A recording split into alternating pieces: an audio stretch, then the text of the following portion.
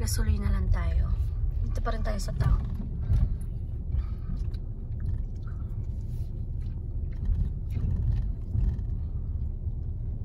Ang distinct sa Rotorua yung Oh, mga look, ganyan. that's Ano. At saka yung amoy. yeah, distinct yung amoy ng Rotorua. Kung maselan kayo sa amoy, And some places you can Please turn next yeah, hindi kayo uubra dito. May kakilala akong hindi pumupunta ng Rotorua dahil sa amoy. But, a friend. But kami okay lang. We're good.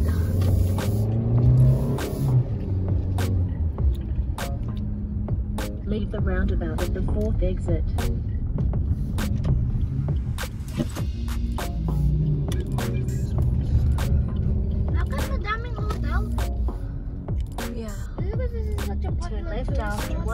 It is.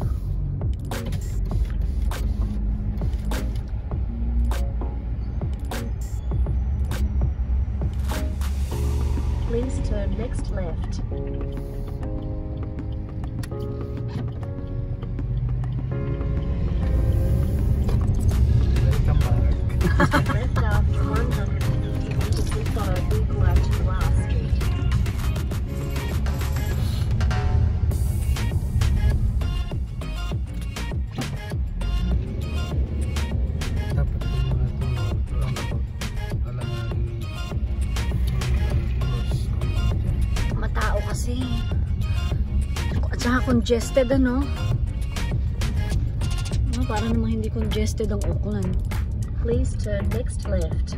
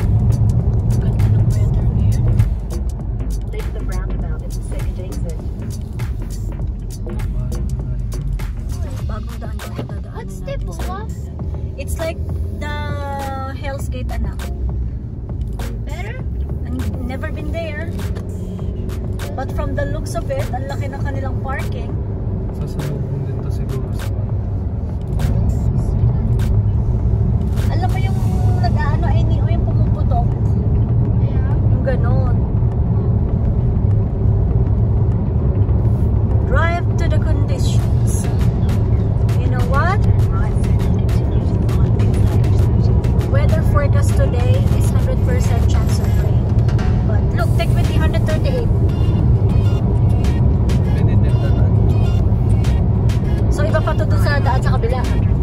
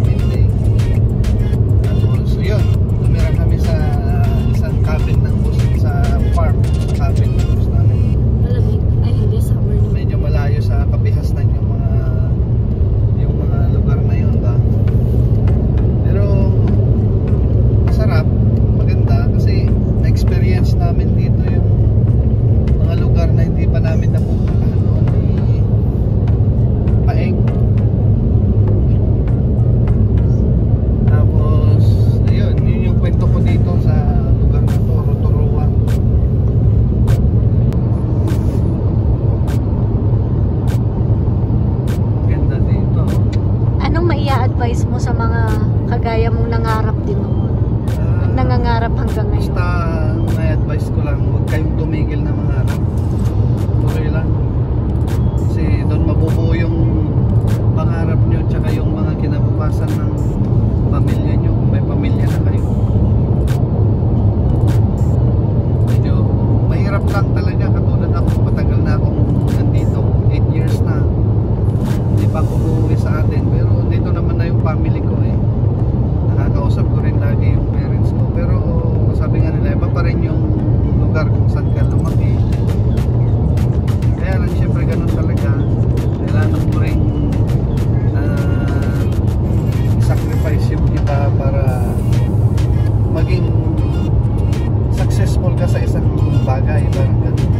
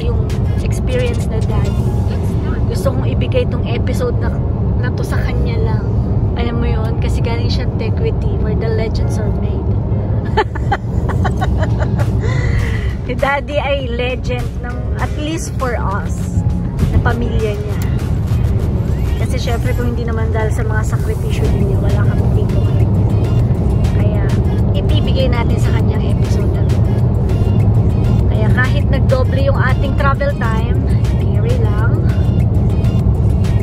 Kasi iba rin yung pakiramdam pag nasilayan niya ulit yung kung saan siya nanggaling pa, kung saan nag-umpisa ang lahat.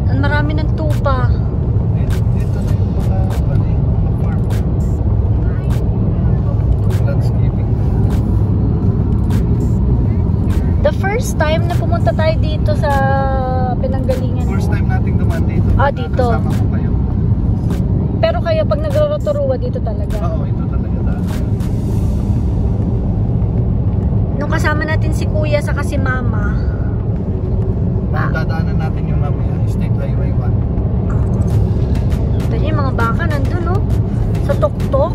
Naapay mat madidag daligdig niya. Madidag tulit. Madidag tulit-tulit.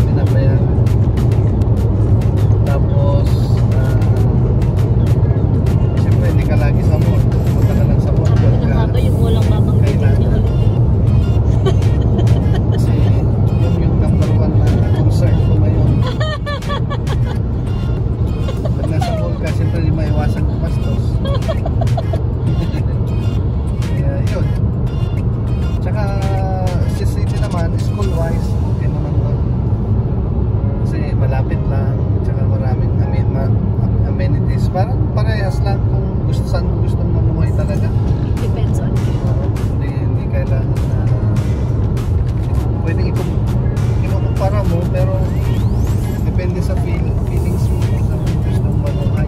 Wow, feelings. Parang makitid yung daan dito daan. Oo. Oh. Oo. Mak makitid siya than the usual na nakasanayan namin. And this is State Highway 30.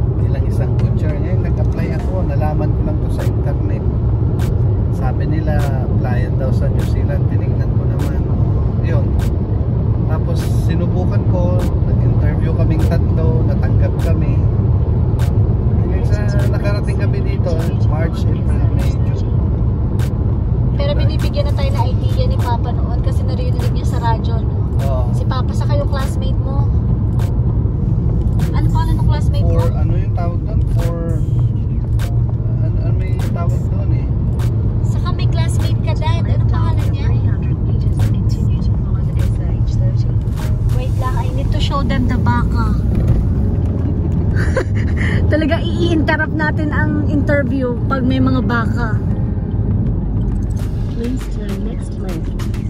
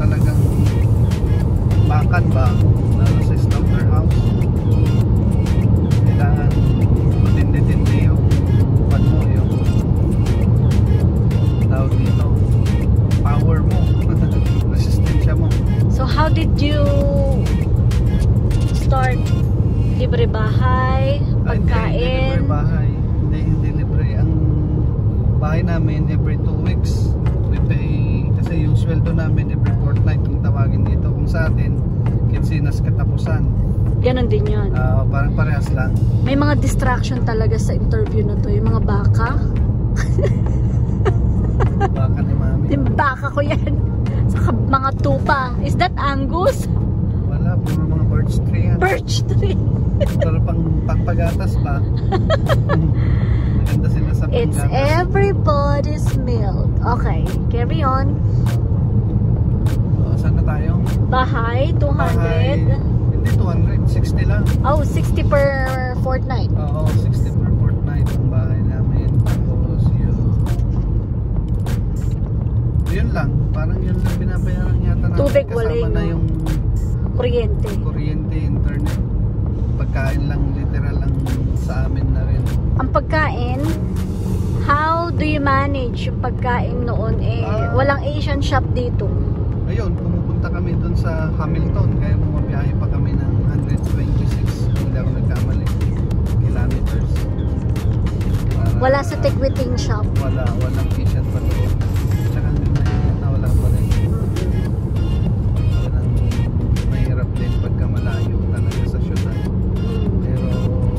May mga freezer kayo noon. Meron. Dito na rin kami. Kaya, adjust mo lang yung sarili mo. So, weekly kami namamalingki noon. Sa weather ba, nagyayelo? I, mean, pag winter? Hindi naman.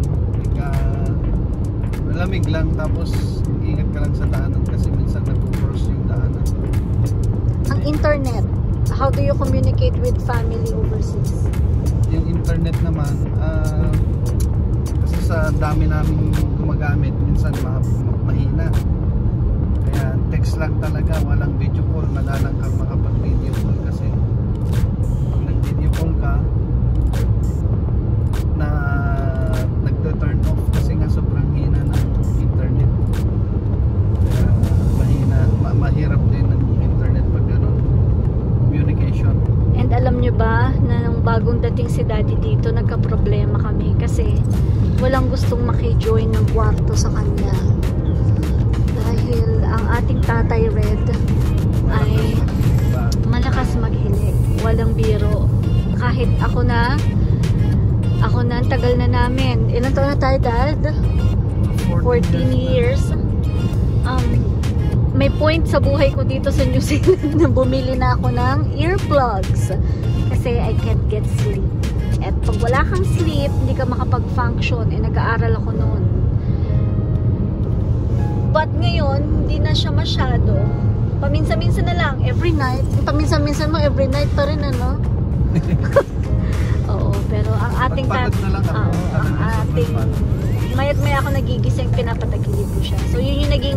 challenge namin.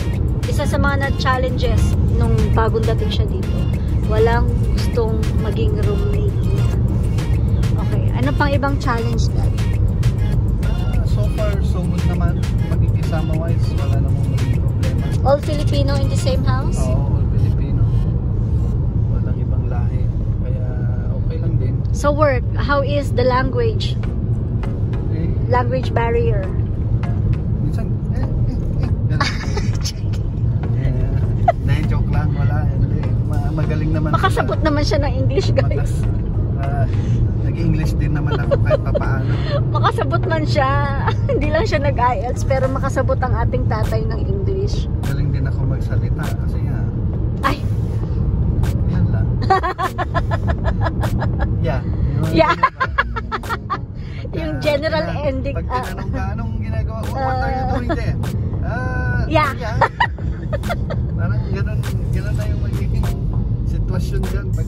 nandito ka na okay. Ah, you know this one? Ah, yeah. nag-isip muna. Loading. Okay, so ang lusot natin is yung dating slaughterhouse ni tatay.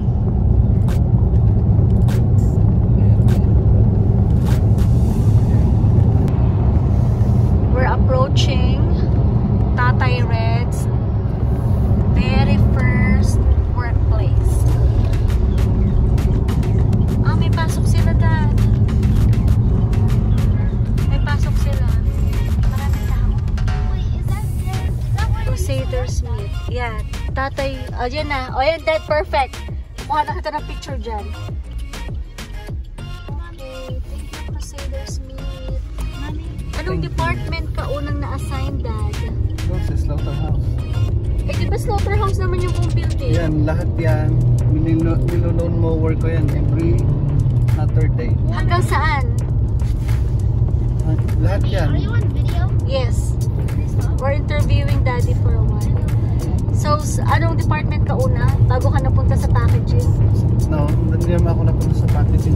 Eh, sabi mo yung gumagawa ka ng labeling. Ah, iba yun. Diyan din yun, kaya lang part yun ng slaughterhouse. Sa, Ah. So, talagang nagkakatay kayo dyan. oo. And ngayon, bibisitahin naman natin ang kanyang unang bahay sa New Zealand. This is all about daddy. I'm all about the about the bass, no trouble. So Dito, dito kami nag uh, muntik ng shout out kay uh, Lemuel Canabe. Uh, ito. Kaya yan, oh, with Bruce Day, talagang totoo yan. Dito kami nang muntik ng nadali ni Lemuel noon. Madaling araw, mga 5.30 yata yun. Madulas. Ito, ito, exact ito, banda na to. Galing kami dyan sa ba- baba, pasalubong sana dito.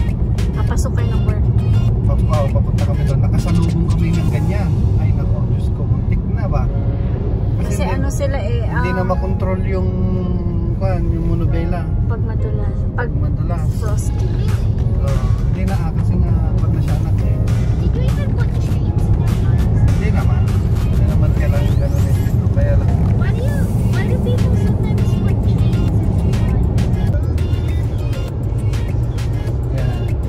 Welcome to my my love Benedict. Hometown. My hometown Benedict. Ayan.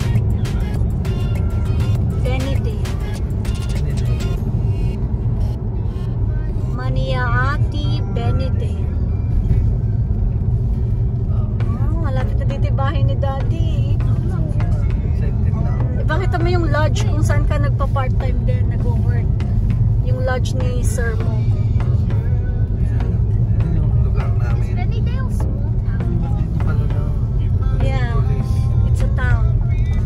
Suburb. Yata of Tequiti. Ano dad? Uy, madami ng bahay. Nare-renovate na yung ano. Dati ko konti lang ang bahay, dad. Uy, marami na rin nakabili ng bahay dito, dad. Pwede na yata tayong lumipat. Bili na tayo ng bahay. Ayan o. Oh. Oo, dati wala man to. Dito kami nagpapagawa ng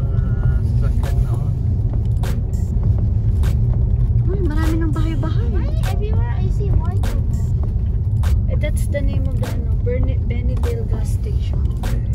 We'll just drop by with the, our Mama, you remember this toilet? You've been here. In this toilet. I don't. I wanna go to the Okay, go. Ako ba nakarating ka na sa playground, anak? Ma, do you remember this spot? Dito sinabi ni Neo sa'yo na this is how... Neo, can you recreate that? This is how mama runs. Sabi niya. Yeah, Neo, how, how do... Paano mag-run si mama? this is how mama runs. Sabi niya. Ah, okay niya. One, two. Parang iba na yung van.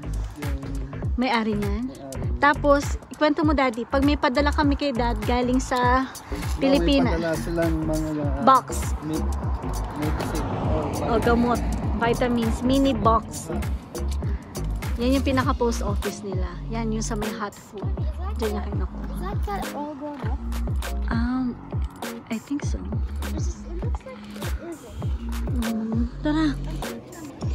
Cute yung cat. Pero dati doon sa mga bungad doon, wala pa mga bahay-bahay doon eh. Di ba dad?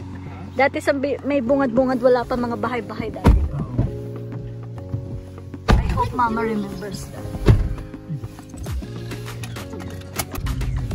Okay, dito na sa school road si daddy, number 28. Dito ako nagpapadala ng sulat noong LDR kami.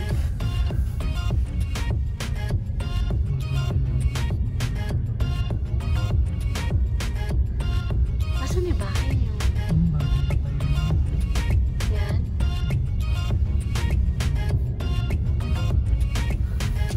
Ay, may camp bahay na kami. Oh. Ay, kami. Ah, ayun yung bahay niyo, di ba? Ayan, school road, no exit. Malapit ka lang pala dun sa ku- kuhaanan ng ano eh. Is it that one? Hindi, oo. Ah, oh, ano yung binalatan? Ah, wala na nakasulat dito.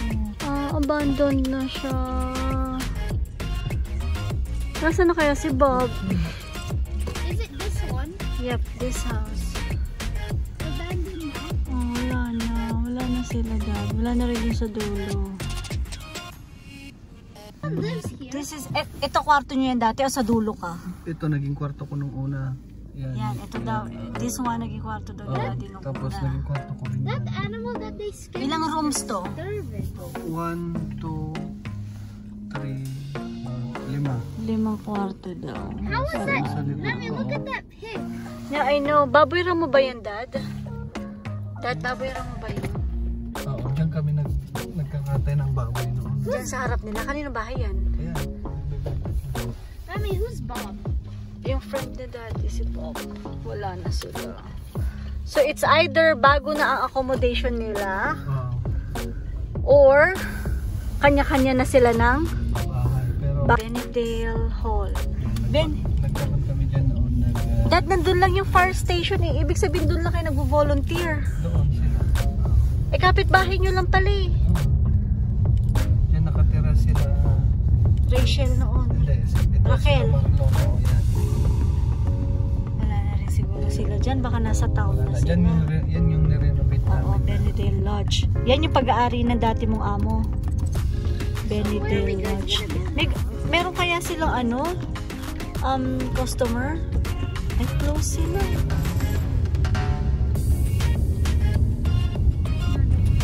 Uwi na tayo anak. Sa, doon tayo sa church. Kung saan nagsisimba si daddy.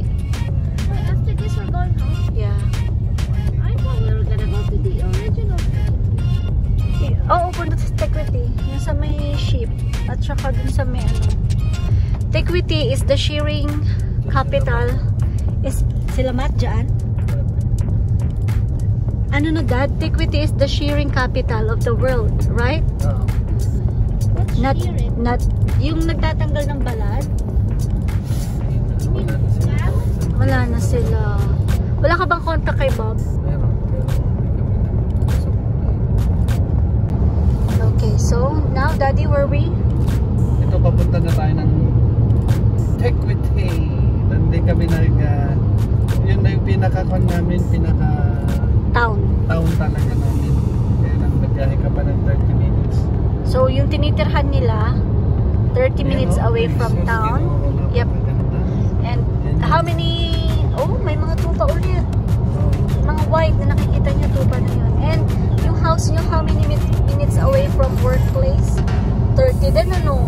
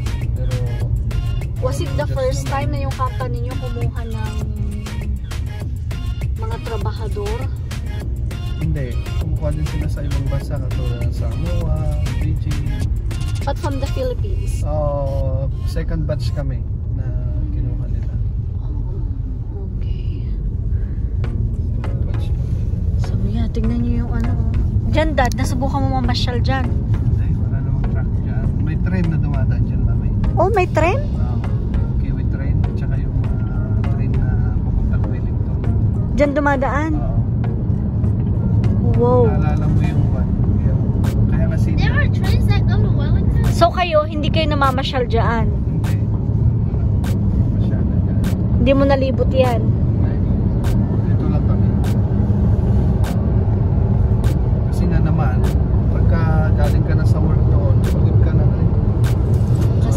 physical yung work niya. Tapos ah, aantayin mo na naman na... Huwag kinabukasan. Pag, uh, ah, mag-lobulis. Ngayon nga, naalala ko yung mga na yun. Gano'n kayo kadalas magpunta sa town? Every two weeks. Oh. Hamilton, minsan every two weeks. Eh sa Tiquiti every week? Minsan hindi na rin. Oh. Unless magpapadala ka. Ah, ang padalahan meron sa Tiquiti? Oo, oh, doon sa tapos minsan sa online training, di ba? Ah, online na lang. Oo. Anong ginagawa mo kapag Minsan day off mo?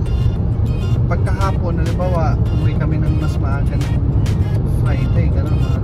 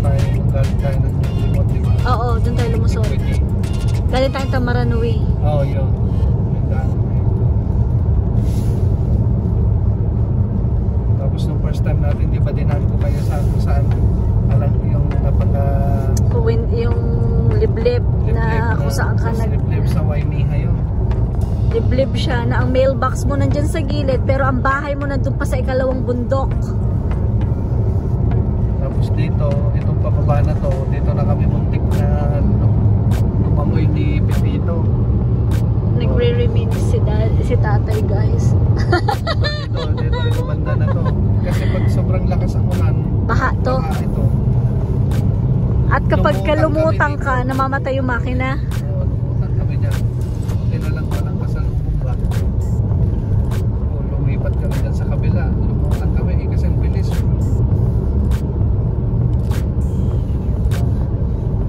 So pag kayo lumuluwas ng bayan, ilang sasakyan? Yung van lang minsan. Yung van, tapos minsan naman yung... Pero nung nagkaroon na kayo ng kanya-kanya sasakyan? Uh, nagkaroon ng iba. Kanya-kanya?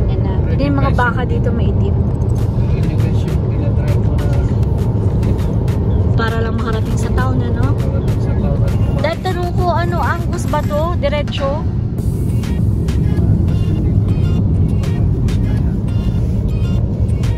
Iba kasi ang itsura ng Angus na baka sa normal na baka. So, si baka. Look.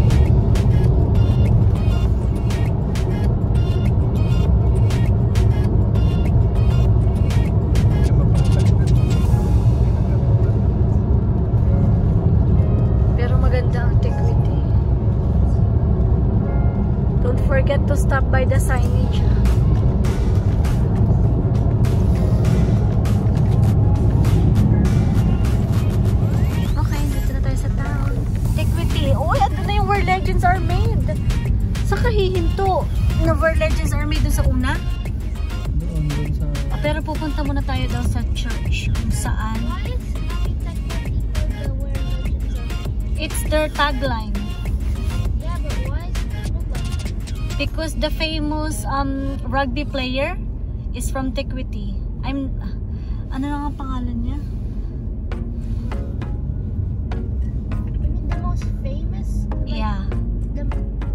Yung, uh, naalala mo yung statwa na may ball na hawak? Yung picture nyo ni Daddy? Okay.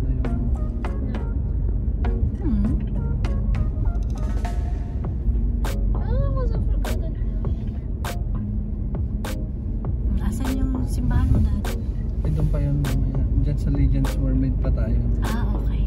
Kasi yun ang malalagpasan natin. Oo, oh, talaga. Eh, di ba papalabas na yun? Hindi, ah, ano, ito lang yun. Prepare to turn left soon and continue to follow the SH30.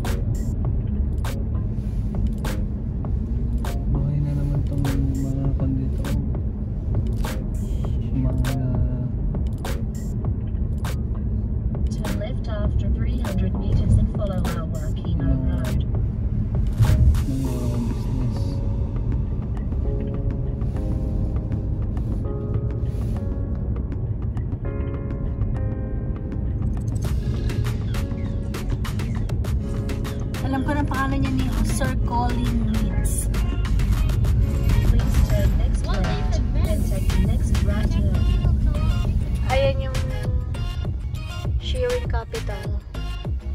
Nakita na ni Mama yan, ano? Oh yeah.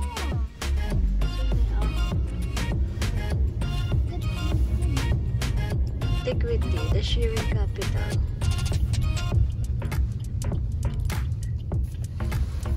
Follow the road for 600 meters.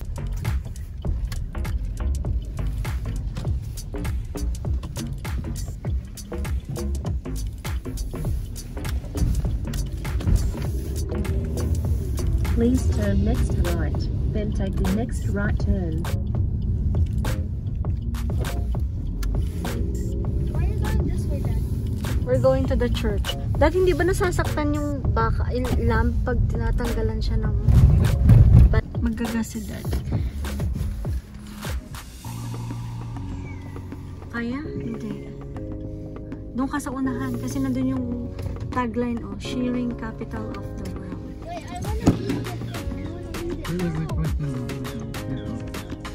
Ah, dyan tayo lumabas. Kung galing tayo Tamaranui. Oo.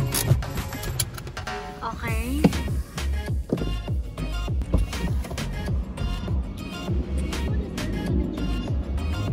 Ayan na, nabasa niyo ba? This is Tequity. It's the shearing capital of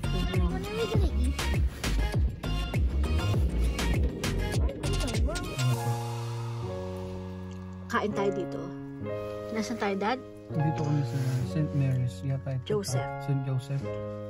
Ito yung church na nagsisimbaan namin noon. Paano na paano. Do you go to church every week? Not really every week, but sometimes. Sometimes lang. Parang may picture kayo doon dito na nakita Oo, ko. meron. It's just so good to go back. Shout out kay Migs and family. Tsaka kay Kuya Josh and family. Sila yung mga kasamahan namin dito nauna na nakilala namin ba. Saka kay Ate Janelle. Oh, yun. Saka Ate Janelle. Maranan. Kuya Junel. I remember si Ate Janelle ang nagpadala sa akin ng unang padala ni tatay. Mm, kasi yun ang hindi ko magawa ng paraan noon dahil wala may IDs na kailangan. Hindi wala pa naman. ako- Wala kang address? ID. Ah, passport din nila tinatanggap. Ah, tinanggap nila pero kailangan dalawa.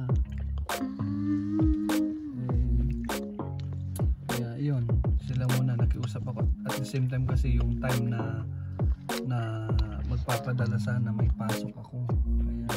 Kaya Ay, kailangan na namin ng pera sa Villamor noon. Kaya pinadala ko na. Pinapapadala ko na